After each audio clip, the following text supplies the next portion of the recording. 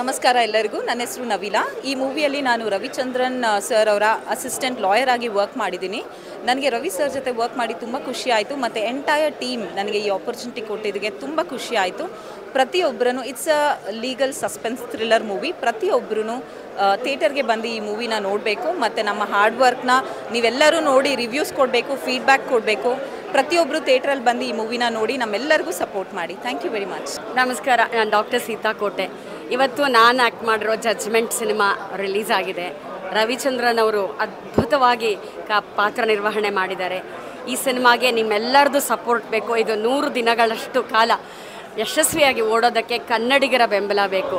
ನಾನು ತುಂಬ ಖುಷಿಯಾಗಿ ಹೇಳ್ತೀನಿ ಡಾಕ್ಟರ್ ರವಿಚಂದ್ರನ್ ಅವರು ಪ್ರೇಮ ಲೋಕದಿಂದ ನ್ಯಾಯ ಲೋಕಕ್ಕೆ ನಿಮ್ಮನ್ನು ಎಷ್ಟು ಚೆನ್ನಾಗಿ ಕರ್ಕೊಂಡು ಹೋಗಿದ್ದಾರೆ ಅನ್ನೋದನ್ನು ಈ ಜಜ್ಮೆಂಟಲ್ಲಿ ನೀವು ನೋಡಿ.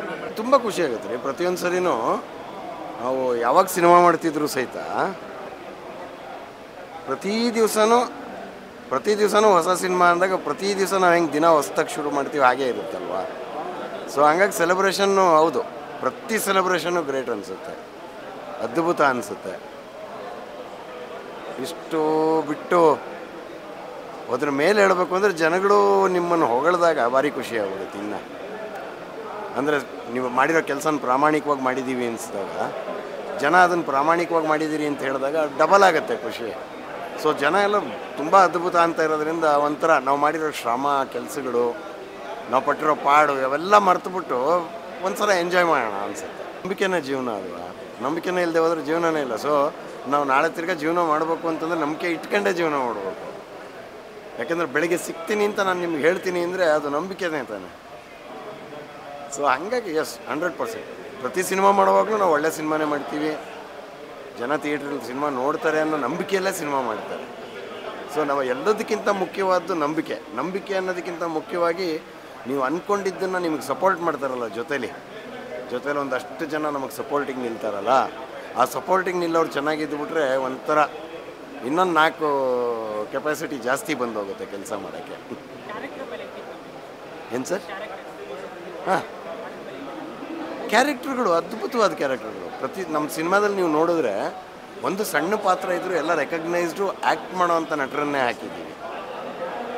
ಯಾರನ್ನೂ ನಾವು ಯಾವುದೇ ಒಂದು ಸಣ್ಣ ಪಾತ್ರನೂ ಯಾರು ಹಾಕಿದ್ರು ಆಗುತ್ತೆ ಅನ್ನೋ ರೇಂಜಲ್ಲಿ ಮಾಡಿಲ್ಲ.